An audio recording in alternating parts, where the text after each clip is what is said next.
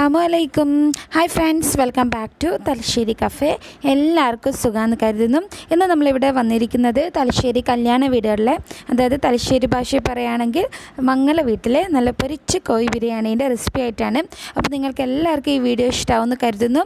വീഡിയോയിലോട്ട് പോകുന്നതിന് മുമ്പായിട്ട് നിങ്ങൾ ആദ്യമായിട്ടാണ് എന്റെ ചാനൽ കാണുന്നതെങ്കിൽ ആ റെഡ് ബട്ടൺ ഒന്ന് അമർത്തി സബ്സ്ക്രൈബ് ചെയ്യുക. അപ്പോൾ ഒരു കുഞ്ഞു ബെല്ലൈക്കൺ വരും. അപ്പോൾ അതിൽ ഓൾ എന്നുള്ള ഓപ്ഷൻ സെലക്ട് ചെയ്താൽ ഞാനിടുന്ന എല്ലാ വീഡിയോസിന്റെയും നോട്ടിഫിക്കേഷൻ നിങ്ങൾക്ക് കിട്ടുന്നതായിരിക്കും അപ്പോൾ നമുക്ക് ചിക്കൻ ബിരിയാണി ഉണ്ടാക്കാൻ തുടങ്ങാം. അതിന് വേണ്ടിയിട്ട് ഞാനിവിടെ അര കിലോ ചിക്കൻ നന്നായിട്ട് കഴുകി വാരിയെടുത്ത് വെച്ചിട്ടുണ്ട്.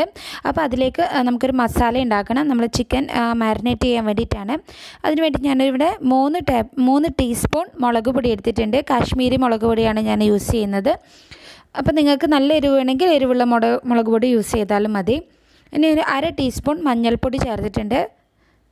ഒരു കാൽ ടീസ്പൂൺ ഗരം മസാല കൂടി ചേർത്തിട്ടുണ്ട്. ഇനി ആവശ്യത്തിനുള്ള ഉപ്പും കൂടി ചേർത്തിട്ട് നമുക്കിതിനെ നന്നായിട്ടൊന്ന് മിക്സ് ചെയ്യണം. ഒരു അരമുറി ചെറുനാരങ്ങയും കൂടി ഈ സമയത്ത് ചെറുനാരങ്ങയുടെ നീരും കൂടി ഈ സമയത്ത് ചേർത്ത് കൊടുക്കാം. ഇതെല്ലാം ചേർത്ത് വളരെ കുറച്ച് മാത്രം വെള്ളം യൂസ് ചെയ്തിട്ട് നമുക്കിതിനെ ഒരു തിക്ക് പേസ്റ്റ് ആക്കി എടുക്കാം. വെള്ളം ഒരുപാട് കൂടി പോകാതിരിക്കാൻ ശ്രദ്ധിക്കണം. നമ്മൾ നല്ല തിക്കായിട്ട് ഒരു പേസ്റ്റ് എടുത്താൽ മാത്രമേ ചിക്കനിലെ എല്ലാ ഭാഗത്തും നമ്മുടെ മസാല നന്നായിട്ട് കോട്ട് ചെയ്ത് കിട്ടുള്ളൂ. ഇപ്പോൾ നമ്മുടെ മസാല ഇവിടെ നന്നായിട്ട് റെഡി ആയിട്ടുണ്ട്. ഇനി നമുക്കിതിലേക്ക് ചിക്കൻ ചേർത്തിട്ട് എല്ലാ ഭാഗത്തും നന്നായിട്ട് തേച്ച് പിടിപ്പിക്കാം. ചിക്കനിൽ ഒട്ടും വെള്ളം ഇല്ലാതിരിക്കാൻ ശ്രദ്ധിക്കണം. നന്നായിട്ട് കഴുകി നമ്മൾ സ്ട്രെയിൻ ചെയ്തെടുത്ത് വെച്ചിരിക്കുന്ന ചിക്കനാണ് അപ്പോൾ ഇനി എല്ലാ ഭാഗത്തും നന്നായിട്ടൊന്ന് ഇത് കോട്ട് ചെയ്ത് കൊടുക്കാം. ചിക്കന്റെ എല്ലാ ഭാഗത്തും മസാല എത്തണം. ഇപ്പോൾ ചിക്കന്റെ ലെഗ് പീസിലൊക്കെ മസാല നന്നായിട്ട് പിടിക്കാൻ വേണ്ടിയിട്ട് നമുക്ക് ഇതുപോലെ വരഞ്ഞു കൊടുക്കാം. അപ്പോൾ അതിനകത്തൊക്കെ മസാല കയറിയിട്ട് നല്ല ഇതായിട്ട് നിന്നോളും. അപ്പം നമ്മുടെ ചിക്കൻ ഇവിടെ നന്നായിട്ട് മാരിനേറ്റ് ചെയ്ത് വെച്ചിട്ടുണ്ട്. നമുക്കിതിനെ ഒരു അരമണിക്കൂർ റെസ്റ്റ് ചെയ്യാൻ വെക്കാം. അതിനുശേഷം നമുക്കിതിനെ പൊരിച്ചെടുക്കാം. ഇപ്പോൾ അരമണിക്കൂർ കഴിഞ്ഞിട്ടുണ്ട്. നമ്മൾ ചിക്കൻ പൊരിച്ചെടുക്കാൻ പോവുകയാണ് അപ്പോൾ അതിന് വേണ്ടിയിട്ട് ഞാനിവിടെ സൺഫ്ലവർ ഓയിലാണ് യൂസ് ചെയ്യുന്നത്.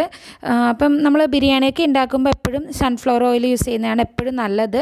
ബിരിയാണിക്ക് നല്ലൊരു ഫ്ലേവർ കിട്ടാൻ. വെളിച്ചെണ്ണയിലൊക്കെ യൂസ് ചെയ്യുന്നതിൽ നല്ലത് സൺഫ്ലവർ ഓയിൽ തന്നെയാണ്. അപ്പോൾ നമ്മുടെ ചിക്കൻ ഇവിടെ നന്നായിട്ട് പൊരിഞ്ഞു വന്നിട്ടുണ്ട്. ഇപ്പോൾ ഒരുപാട് സമയത്ത് പൊരിക്കരുത്. കാരണം അപ്പോൾ ഹാർഡായി പോകും ചിക്കൻ അതിനകമൊക്കെ ഒരു വല്ലാത്തൊരു ഹാർഡ്നെസ് ഫീൽ ചെയ്യും നമുക്ക്. നമ്മൾ ചിക്കനെ നന്നായിട്ടൊന്ന് വറുത്തെടുക്കുകയും വേണം. എന്ന് വെച്ചാൽ ഒരുപാട് ഹാർഡായി പോവാതിരിക്കാനും ശ്രദ്ധിക്കണം. ഇനി ബാക്കിയുള്ള ചിക്കൻ കൂടി നമ്മൾക്ക് ഇതിലേക്കിട്ട് ആ, പൊരിച്ചെടുക്കാം. ചിക്കനെല്ലാം ഇവിടെ റെഡി ആയിട്ടുണ്ട്. അപ്പോൾ ഇനി ഇതൊന്ന് മാറ്റി വെച്ചതിന് ശേഷം നമുക്ക് മസാല ഉണ്ടാക്കാൻ തുടങ്ങാം. മസാല ഉണ്ടാക്കാൻ വേണ്ടിയിട്ട് ഞാനിവിടെ ഒരു മൂന്ന് ടേബിൾ സ്പൂണിന്റെ അടുത്ത് സൺഫ്ലവർ ഓയിൽ തന്നെയാണ് യൂസ് ചെയ്യുന്നത്. നിങ്ങൾക്ക് വേണമെങ്കിൽ ആ ചിക്കൻ പൊരിച്ച ഓയിൽ തന്നെ യൂസ് ചെയ്യാം. അപ്പം കുറച്ചുകൂടി നല്ലൊരു ടേസ്റ്റി ആയിരിക്കും. ഇനി ഇതിലേക്ക് ഒരു നാല് വലിയ സവാള അരിഞ്ഞത് ചേർത്തിട്ടുണ്ട്. സവാള കനം കുറഞ്ഞ നീളത്തിൽ അരിഞ്ഞെടുത്തതാണ്. നമ്മുടെ ഈ മസാലയുടെ ഹൈലൈറ്റ് എന്ന് പറയുന്നത് ഈ സവാള നന്നായിട്ടൊന്ന് റോസ്റ്റ് ചെയ്തെടുക്കണം കേട്ടോ. സവാള വഴന്ന് വഴന്ന് അവസാനം സവാള കാണാൻ പറ്റാത്ത രീതിയിലാവണം. സവാള ഒന്ന് പെട്ടെന്ന് വഴന്നു വരാൻ വേണ്ടിയിട്ട് നമുക്ക് അതിലേക്ക് കുറച്ച് ഉപ്പ് ചേർത്ത് കൊടുക്കാം. എന്നിട്ട് ഇതിനെ നന്നായിട്ട് വഴറ്റിയെടുക്കണം. നന്നായിട്ട് റോസ്റ്റായിട്ട് വരുമ്പോഴാണ് സവാള ഈ മസാലയ്ക്ക് നല്ലൊരു ടേസ്റ്റ് ഉണ്ടാവുക. സവാള ഇപ്പോൾ അത്യാവശ്യം വഴന്നു വന്ന സമയത്ത് വേണം നമുക്കിതിലേക്ക് ഇഞ്ചി വെളുത്തുള്ളി പേസ്റ്റ് ചേർക്കാൻ. ഒരു ചെറിയ കഷ്ണം ഇഞ്ചിയും അതുപോലെ ഒരു ഉരുള വെളുത്തുള്ളിയാണ് ചേർത്തത്. അതുപോലെ ഒരു ഏഴ് പച്ചമുളക് നന്നായിട്ട് ചതച്ചെടുത്തിട്ടുണ്ട് അതുകൂടി ചേർത്തിട്ടുണ്ട്. പിന്നെ കുറച്ച് കറിവേപ്പിലയും അതുപോലെ കുറച്ച് മല്ലിയിലയും കൂടി നമുക്കിതിലേക്ക് ചേർത്ത് കൊടുക്കാം. എല്ലാം ചേർത്തിട്ട് നന്നായിട്ട് ഇതിനൊന്ന് മിക്സ് ചെയ്തിടുക ഇതിന്റെ പച്ചമണം മാറുന്നവരെ നന്നായിട്ടൊന്ന് വഴറ്റി കൊടുക്കാം. ഇഞ്ചി വെളുത്തുള്ളിയുടെയൊക്കെ ഒരു പച്ചമണം മാറുന്ന സമയത്ത് നമുക്കിതിലേക്ക് ഒരു അര കാൽ ടീസ്പൂണിന്റെ അടുത്ത് മഞ്ഞൾപ്പൊടി ചേർത്ത് കൊടുക്കാം. കാൽ ടീസ്പൂൺ മതിയാവും മഞ്ഞൾപ്പൊടി. അപ്പോൾ അതുകൂടി ചേർത്തിട്ട് നന്നായിട്ടൊന്ന് വഴറ്റി കൊടുക്കാം. ഇനി നമുക്കിതിലേക്ക് തക്കാളി ചേർത്ത് കൊടുക്കാം. ഒരു രണ്ട് ചെറിയ തക്കാളിയാണ് ഞാനിവിടെ ചേർത്തിരിക്കുന്നത്. ഇപ്പോൾ വലിയ തക്കാളിയാണെങ്കിൽ ഒന്ന് ചേർത്താലും മതിയാവും. ഇനിയിപ്പോൾ തക്കാളി നന്നായിട്ടൊന്ന് റോസ്റ്റ് ചെയ്തെടുക്കണം. അതിനുവേണ്ടി നമുക്കിതിനെ അടച്ചെടുത്തിട്ട് അടച്ചു വെച്ചിട്ട് വേവിച്ചെടുക്കാം. ഇപ്പോൾ തക്കാളി നന്നായിട്ട് വെന്ത് വന്നിട്ടുണ്ട്. നന്നായിട്ട് അലിഞ്ഞ് ചേർന്നിട്ടുണ്ട്.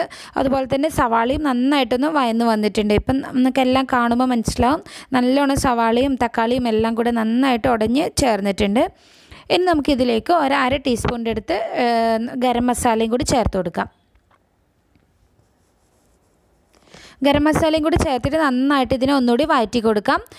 നന്നായിട്ടൊന്ന് റോസ്റ്റ് ആക്കി എടുക്കാം. ഇപ്പം നമ്മുടെ മസാല നന്നായിട്ട് റെഡി ആയിട്ടുണ്ട്. സവാളയ്ക്ക് നല്ല റോസ്റ്റായിട്ട് വന്നിട്ടുണ്ട്. ഇനി ഈ സമയത്താണ് നമ്മളിതിലേക്ക് നേരത്തെ പൊരിച്ച് മാറ്റി വെച്ചിരിക്കുന്ന ചിക്കൻ ചേർത്ത് കൊടുക്കുന്നത്. ഇതിലേക്ക് ഞാനൊരു ഒരു ടീ ഒരു ടേബിൾ സ്പൂണിന്റെ അടുത്ത് തൈര് കൂടി ചേർത്തിട്ടുണ്ടായിരുന്നു.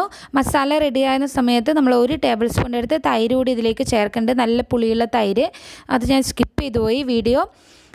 അപ്പോൾ ചിക്കൻ ചേർക്കുന്നതിന് മുമ്പായിട്ട് നിങ്ങൾ ഒരു ടേബിൾ സ്പൂണിന്റെ അടുത്ത് തൈര് ചേർക്കുക. തൈര് ഇല്ലെങ്കിൽ ഒരു ടേബിൾ സ്പൂൺ ലെമൺ ജ്യൂസ് ചേർത്താലും മതി.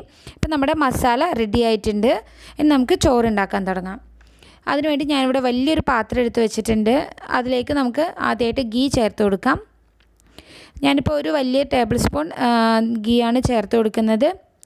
അതിലേക്ക് തന്നെ നമ്മളൊരു മൂന്ന് ടേബിൾ സ്പൂണിന്റെ അടുത്ത് സൺഫ്ലവർ ഓയിലും കൂടി ചേർത്ത് കൊടുത്തിട്ടുണ്ട്. ഇനി നമുക്ക് കുറച്ച് ഐറ്റംസ് ഫ്രൈ ചെയ്ത് വെക്കണം നമ്മുടെ ചോറിന് വേണ്ടിയിട്ട്. ആദ്യമായിട്ട് നമുക്ക് അണ്ടിപ്പരിപ്പും കിസ്മിസും ഫ്രൈ ചെയ്തെടുക്കാം. ഇതൊക്കെ ഓപ്ഷനിലാട്ടോ നിങ്ങൾക്ക് ഇഷ്ടമുണ്ടെങ്കിൽ മാത്രം ചെയ്താൽ മതി. നമ്മൾ ഒതന്റിക്കായിട്ട് ചെയ്യുമ്പോൾ ഇതുപോലെ എല്ലാം ഫ്രൈ ചെയ്തിടാറുണ്ട് ഇത് നമുക്ക് മാറ്റി വയ്ക്കാം ഇനിയിപ്പോൾ ആ ഒരു ഓയിലിൽ തന്നെ നമ്മൾ ഒരു മീഡിയം സൈസ് സവാള നീളത്തിൽ കനം കുറച്ച് അരിഞ്ഞു വെച്ചതാണ്. അതും കൂടി ഇട്ടിട്ട് ഫ്രൈ ചെയ്തെടുക്കാം.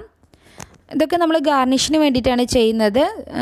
ബിരിയാണി അവസാനം ഗാർണിഷ് ചെയ്യാൻ വേണ്ടിയിട്ട് ഉപയോഗിക്കുന്നതാണ്. ഞാനിപ്പോൾ ഇവിടെ ഒരു ക്യാരറ്റിന്റെ പകുതി ചെറുതായിട്ടൊന്ന് ഗ്രേറ്റ് ചെയ്തെടുത്തിട്ടുണ്ട്. അതുപോലെ കുറച്ച് മല്ലിയിലയും കൂടി ചെറുതായി അരിഞ്ഞെടുത്തിട്ടുണ്ട്. ഇതെല്ലാം കൂടി ഒന്ന് നന്നായിട്ടൊന്ന് മിക്സ് ചെയ്ത് കൊടുക്കാം.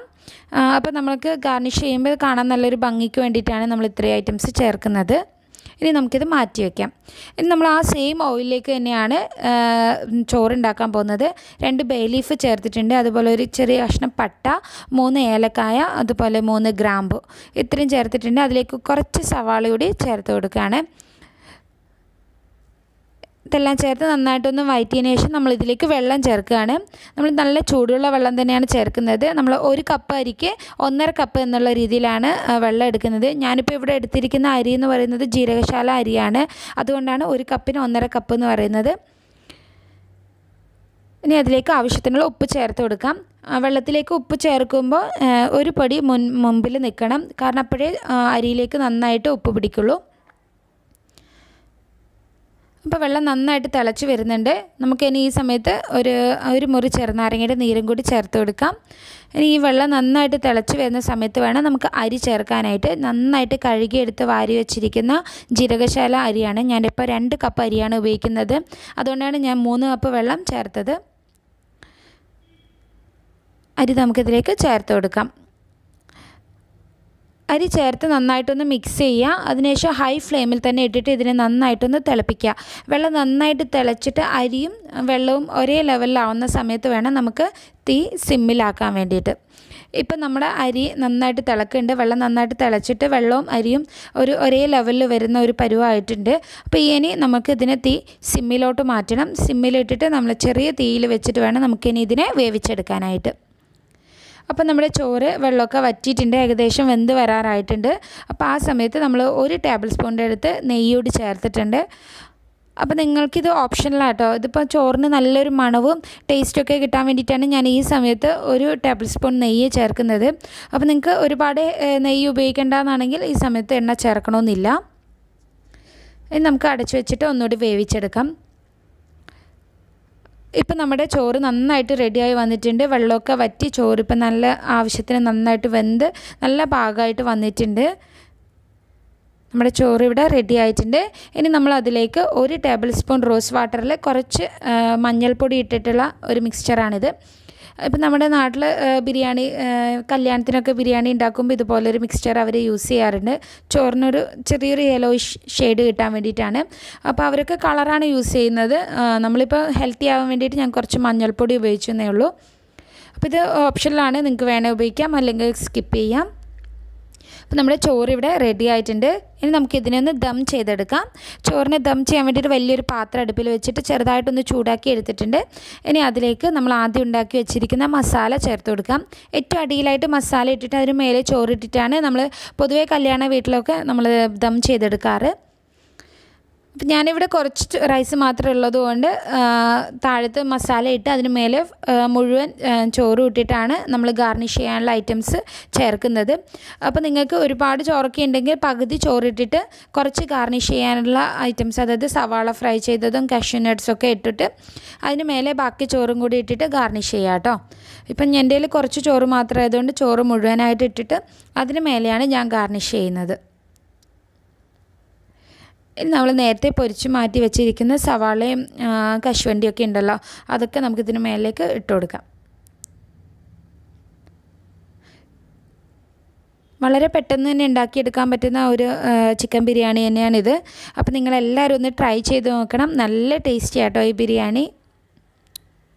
നമുക്കിനി ഇതൊന്ന് ദം ചെയ്തെടുക്കാം. അതിനുവേണ്ടി നന്നായിട്ടൊന്ന് അടച്ചിട്ടുണ്ട്. ഇതിലൊരു ചെറിയ ഹോളുണ്ട്. ആ ഹോളും കൂടി നമ്മളൊന്ന് അടച്ചു കൊടുക്കുകയാണ്. ഒരു ഫോ അലുമിനിയം ഫോയിൽ വെച്ചിട്ട്. നല്ലൊരു വെയിറ്റുള്ള ഒരു ഇതും കൂടി അതിന് മേലെ വെച്ചിട്ടുണ്ട്. ഇപ്പം നാട്ടിലൊക്കെ ആണെങ്കിൽ വലിയ ബിരിയാണി ചെമ്പിൽ അതിന് മുകളിൽ കനലിട്ടിട്ടാണ് നമ്മൾ ദം ചെയ്ത് വെക്കുന്നത്. ഇപ്പോൾ ഇവിടെ അതിനുള്ള സൗകര്യം ഇല്ലാത്തതുകൊണ്ടാണ് ഇങ്ങനെ ചെയ്തത്. ഇപ്പോൾ നമ്മുടെ ബിരിയാണി ഇവിടെ റെഡി ആയിട്ടുണ്ട്. ഇനി ചോറ് മാറ്റി വേറൊരു പാത്രത്തിലേക്ക് മാറ്റിയിട്ട് മസാല ഒന്ന് മിക്സ് ചെയ്തെടുക്കണം. അപ്പോൾ ഇങ്ങനെയാണ് നമ്മൾ സെർവ് ചെയ്യുന്നത്. അപ്പോൾ വളരെ പെട്ടെന്ന് തന്നെ നമ്മുടെ ബിരിയാണി ഇവിടെ റെഡി ആയിട്ടുണ്ട്. നല്ല ടേസ്റ്റുള്ള ബിരിയാണിയാണ്. ആ ചിക്കന്റെ ഫ്ലേവറൊക്കെ നമ്മൾ ആ റൈസിലേക്കും കൂടെ കയറി വന്നിട്ടുണ്ട്. അപ്പോൾ നിങ്ങളെല്ലാവരും ഇനി ബിരിയാണി ഉണ്ടാക്കുമ്പം ഈ രീതിയിൽ ഉണ്ടാക്കി നോക്കുക. നിങ്ങൾക്ക് എല്ലാവർക്കും തീർച്ചയായിട്ടും ഇഷ്ടമാവും നല്ലൊരു അടിപൊളി ബിരിയാണിയുടെ റെസിപ്പി തന്നെയാണ്. അപ്പോൾ ഇന്നത്തെയും പോലെ ഇന്ന് എന്റെ വീഡിയോ ഇഷ്ടമായിട്ടുണ്ടെങ്കിൽ ലൈക്ക് ചെയ്യുക ഷെയർ ചെയ്യുക. അതുപോലെ താഴെ കമന്റ് ബോക്സിൽ കമന്റ് ചെയ്യുക. നല്ലതാണെങ്കിലും മോശമാണെങ്കിലും കമന്റ് ചെയ്യുക. അപ്പം എന്റെ പ്രീവിയസ് വീഡിയോസൊക്കെ കാണുക. Thank for watching Thalassery cafe